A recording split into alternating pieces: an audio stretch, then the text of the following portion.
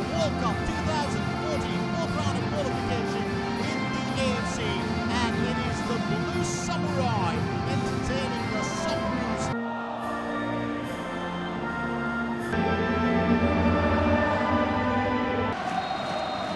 And it's into the action. Japan, they're still in there. Australia holding strong.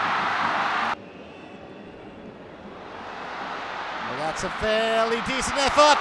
Eiji Kawashima denies Kruse, and that would have been a really, really golden opportunity for Australia. Endo, Kagawa. Shinji Kagawa scrapes the woodwork. Let's not forget Japan are the most one of the best sides in Asia. Eiji Kawashima has just has been unable to stop that strike. Australia have the lead here. It's marvellous work being done by the Socceroos. But we passed 18 minutes and Tommy Oar decides to make the call.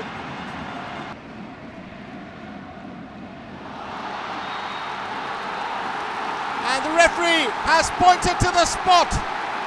Oh, this is, it's almost deja vu. Well, the last time round, it was Australia that equalised through a penalty.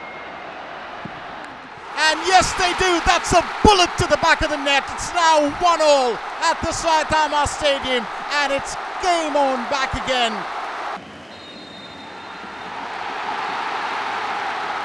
Full time at the Saitama Stadium. Final score here at the Saitama Stadium Japan 1, Australia 1.